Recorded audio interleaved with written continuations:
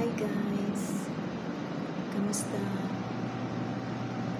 Kamusta man ato ang life diha karon? Ako diri naning kamot gihapon sa gitnang silangan diri sa Jeddah. Kamusta man ato ang Eid diha, Eid Mubarak. Eid Mubarak sa mga kapatid kong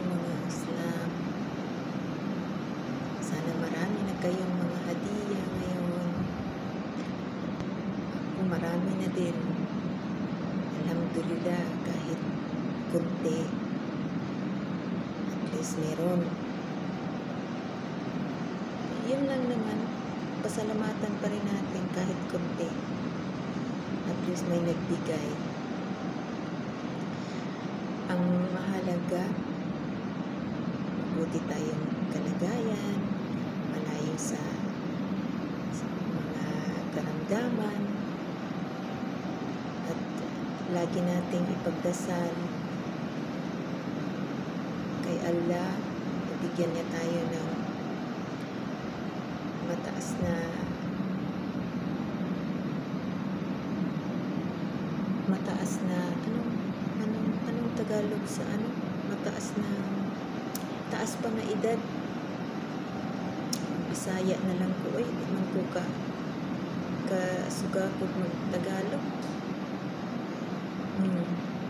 kay Bisaya man gyud ko taga Mindanao tubong Mindanao na sa Kidapawan City proud Kidapawan City taga Mindanao, Bisayang dako. Siyempre, proud kaayo ta sa ato ang na dakan, di ba? Unya, kuan, kaning akong mga palangga nga mga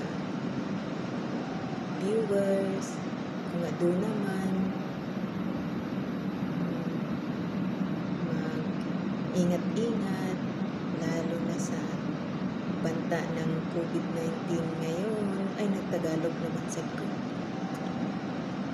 sige na lang ato na lang ning ihalo-halo Tagalog Bisaya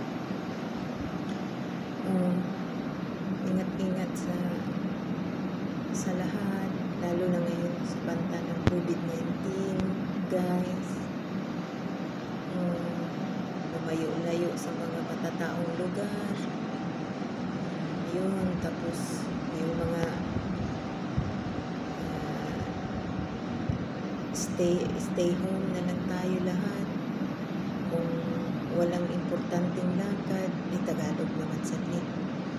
Kung wala kaayo importante nga lakaw, mabuti pa mag-stay home uh, para maiwasan ang COVID-19.